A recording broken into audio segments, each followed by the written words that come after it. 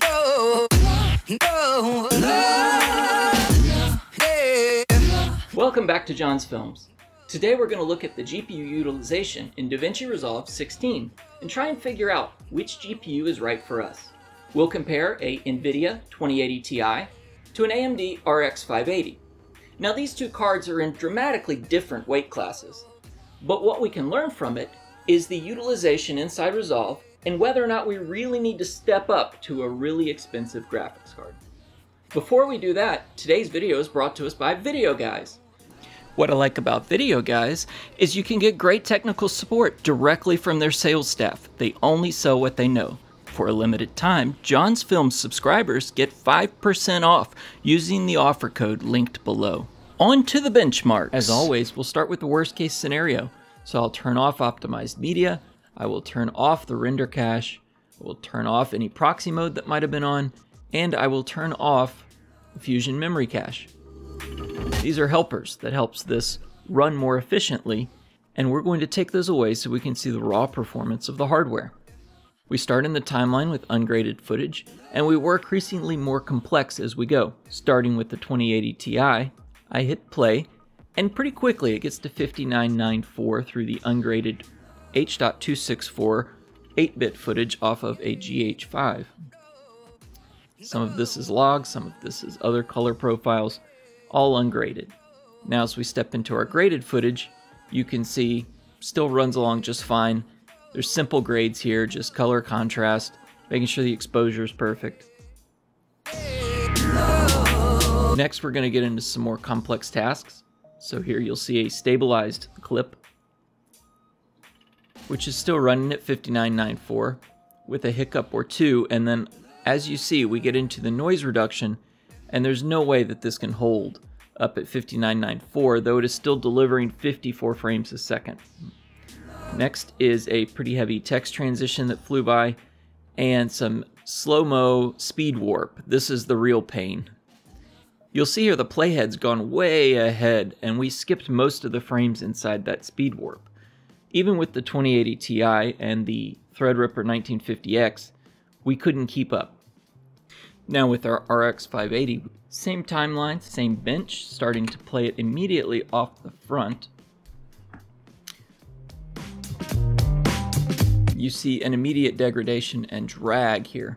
Reminder, this is 4K footage that's running H.264 8-bit color, and it is trying to run at 60 frames a second. We finally finally caught up with ungraded footage here near the end.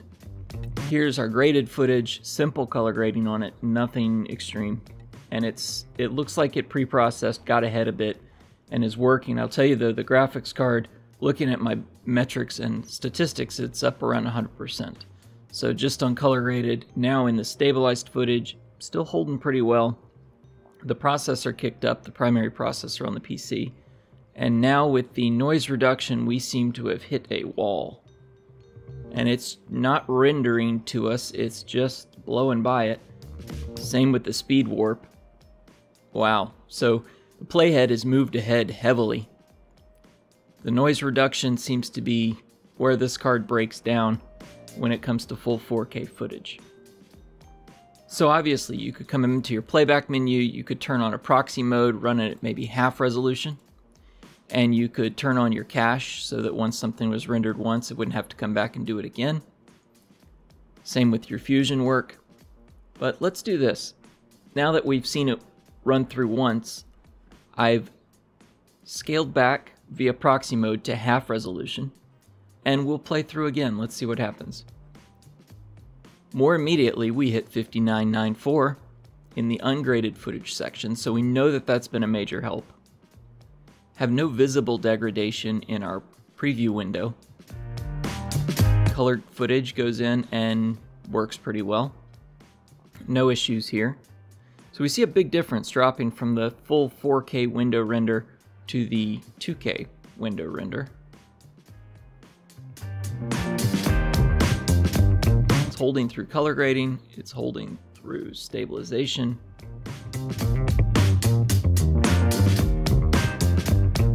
Noise reduction is still going to be its nemesis. It has not kept up with that. we're not able to get through noise reduction at all. The playhead is again jumped ahead into the speed warp section with the optical flow. This is a DaVinci Resolve 16 feature. This is neural network to automatically fill in the blanks when you slow some footage down so much that it would be juddery. But you'll notice our playhead is actually down on the ungraded footage that's at the end of this for render times and hasn't moved uh, in the render window forward. My CPU at this point is around 11%. My GPU is running at 100. However, you see some promise when you drop down to a playback proxy mode of half resolution. And I'm going to bet if we go to even lower, again, very little, uh, I can kind of tell the difference now, but it's really easily workable. You got 1080p shoved into this little window. Looks pretty good. Flying through the color grading. see what that stabilization does. Here it is without stabilization. Here it is with stabilization. Pretty good. Noise reduction is still going to be a problem for it. You can see it is drawing more frames, but... Uh, uh, yeah, you can see in the pan right there, it's really bad. So it looks like the RX 580 is going to now render. All right, so we've got some more luck here. I'm at 100% on the graphics card, 17% in the processor. But that becomes much more editable. Let's move over and look at some render benchmarks. Setting the stage on our benchmark, there's only one type of encoding we'll be able to run on our RX 580. However, our 2080 Ti, we have a hardware encoder built into the chip, and that is the NVIDIA uh, NVENC encoder, NVENC for encode, and it's a hardware accelerated, explicitly constructed device to encode video.